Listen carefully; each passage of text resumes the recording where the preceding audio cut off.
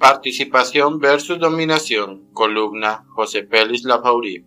Si a usted le piden opinar con un arma en su espalda, dará su opinión o la de quien lo intimida. Para el ELN la participación de la sociedad es central en las negociaciones. Por ello en Cuba avanzaremos en protocolos que la permitan en los territorios, para que las decisiones de la mesa respondan a necesidades sentidas.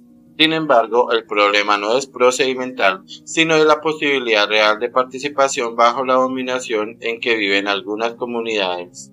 Pena entonces desentrañar ese entorno de dominación a partir de la historia y accionar del ELN, que nació en Santander a mediados de 1964 y se caracteriza por su dogmatismo revolucionario, con alta influencia religiosa de la teoría de la liberación en sus orígenes. Hoy puede tener 5.000 efectivos entre combatientes y milicianos en Colombia y en Venezuela, retaguardia de sus actos terroristas en dos de sus principales zonas de influencia, el Catatumbo, el norte de Santander y Arauca, donde su especialidad ha sido la destrucción de la infraestructura petrolera y más recientemente el narcotráfico y el control del contrabando.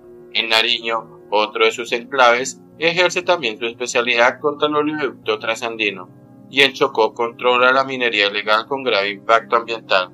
En Cauca, la especialidad es la agitación violenta de los indígenas en su anacrónica lucha por la liberación de la madre tierra, que, según ellos, les pertenece desde antes de la conquista.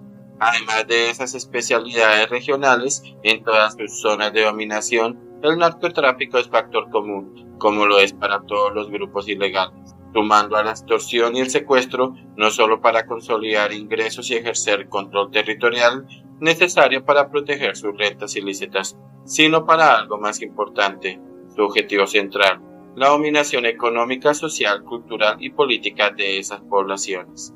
Allí donde el Estado es precario, ellos pretenden suplantar al Estado. Ellos gobiernan a los gobernantes locales bajo una modalidad de corrupción forzada. Recibes o mueres, ellos contratan, ellos nombran. Allí donde la ley es ausencia, ellos son la ley y son también la justicia. Dirimen querellas, castigan y perdonan a su arbitrio. Allí donde buscar esa hazaña, ellos ideologizan, abrazan niños y los dejan acariciar sus fusiles y sus odios. Allí donde la mata de coca es poder político, ellos deciden por qué, cuándo, cómo y contra quién protestar. Allí son ellos, que no el ciudadano en su libre albedrío quienes deciden por quién votar. Podemos desarrollar protocolos, pero ¿posible participar libremente en ese entorno de dominación? La verdadera participación exige desconectar previamente a las comunidades de esos factores de dominación, lo cual solo se puede lograr con el cese de hostilidades regional y controlado. Si no es así, quien participe será el mismo LN en cuerpo ajeno.